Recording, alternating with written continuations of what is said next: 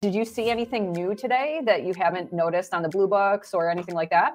Yeah, okay. So there were a couple things that felt uh, new to me. The way that they, and we had a little bit of a sense that this was going to happen because of the standard English convention, like from the drop that recently happened. Yes. I think that there were things that I thought would be new and then things that, that weren't new. Like I, a lot of, there was a lot of like chatter about unit circle and I didn't experience anything where I needed to draw on my pre-calculus knowledge about Okay. personally.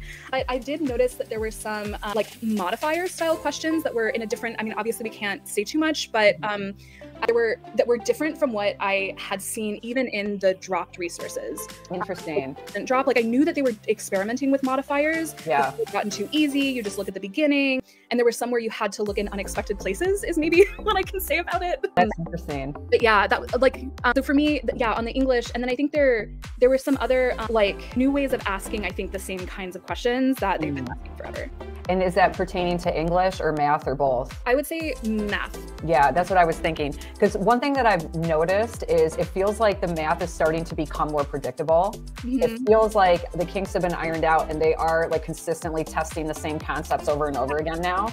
But it's those curveballs and they go at a different angle, you know, and they Yeah, ask you in a different way. Okay. Exactly. Like you're not just solving for the unknown constant anymore. Sometimes you're, you know, having to solve for the unknown constant and then take an extra step.